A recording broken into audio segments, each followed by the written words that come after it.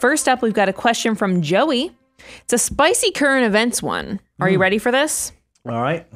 The US dollar doesn't seem as dominant as it once was. And with China's economy potentially overtaking ours, I'm worried about investing so heavily in US stocks. Is the dollar on its way out? And should we go heavier in international stocks? What do you think?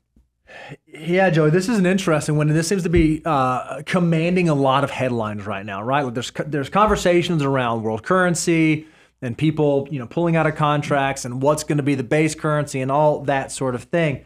And here's what makes me nervous about, you know, these big seismic shifts that people think that could happen.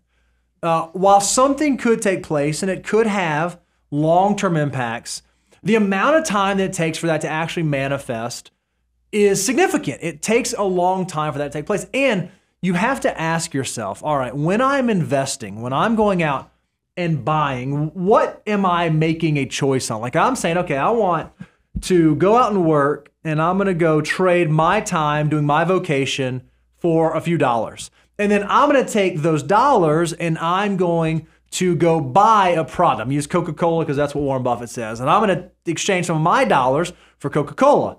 Well, that Coca Cola came to me because someone else was willing to sa- sacrifice their time to be able to put together the recipe and mix the ingredients and make the can and put it all together.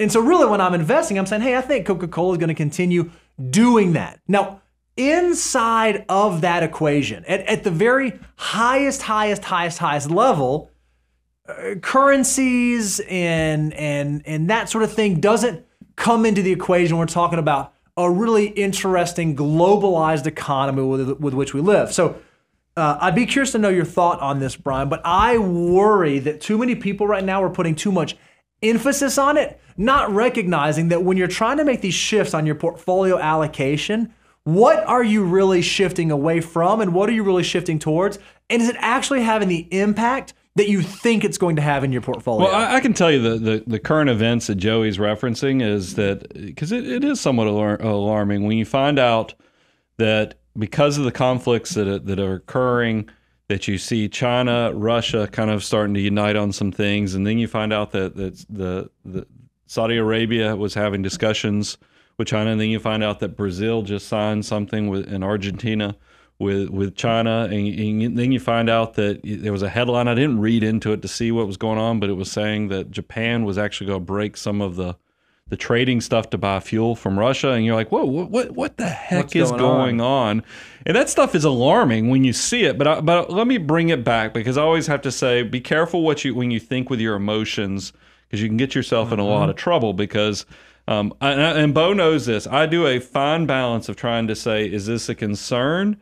And is this concern, it, it, could it be also leading to and creating a blind spot mm-hmm. in vi- my investment life where I'm letting the, the, because remember, the news media does not care about your wallet or your purse or your, your retirement savings. They're just trying to get your eyes Eyeballs, and ears and they, they, they scare the heck out of you. So let me, let me take this in two parts, Joey. First of all, you should know pulling just everything out of the U.S. because you're worried about it is not an ideal strategy because the the U.S. is already an automatic diversified investment. That's why it's a good anchor investment because realize uh, uh, last time I looked into this, now this might be updated now more or less, I'm not sure, mm-hmm. but last time I looked into it, 40% of the S&P 500's money flowing in, earnings coming in, revenue coming in from from operations was from global operations, meaning that if you think about a lot of the brands that you look at that are part of the S&P 500, these are brands that not only operate in the United States, but they actually operate all over the world. So you're not even when you buy the S&P 500,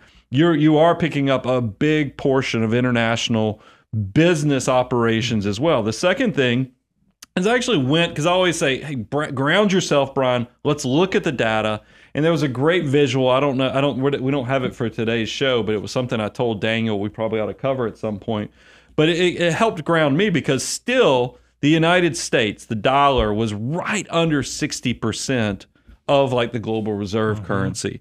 The euro was in second place with like 20%, right under 20%. And then everything else was kind of a small, a, a, a, you know, spread out at 3%, 5%, and so forth. But still, the, the America is still the global currency um, that, that a lot of people use. You can still go to a lot of countries and you tip them in a dollar or give them a five dollar bill. They're gonna love it. But but uh, there are some trends that you need to be aware of because I think that with the way our Federal Reserve and our government runs, with we don't we don't have gold anymore. You know, guaranteeing the value.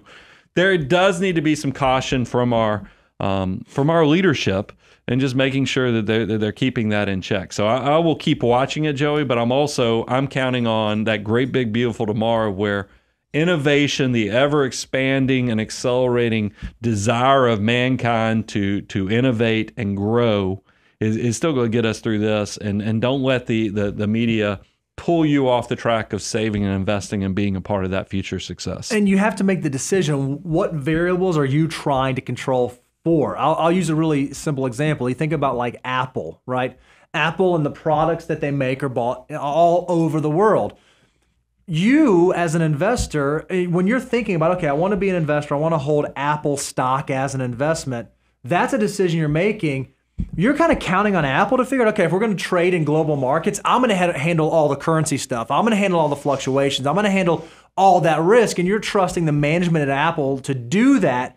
When you're an investor, you have to decide as an investor, what factors am I going to control and what factors am I going to let the things that I'm investing in control? Just like you wouldn't go in and tell them how to run the assembly line to make the iPhones, you have to figure out okay, where do I want to weigh in on my allocation decisions and where am I comfortable not weighing in on my allocation decisions?